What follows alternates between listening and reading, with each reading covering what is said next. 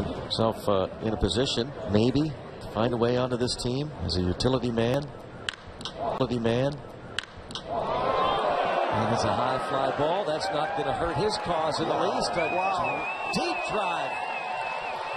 Kivlehan with his second home run of the spring. He has seven hits, and it's tied up at AAA Indianapolis. He continues to grow. Indianapolis, he continues to grow.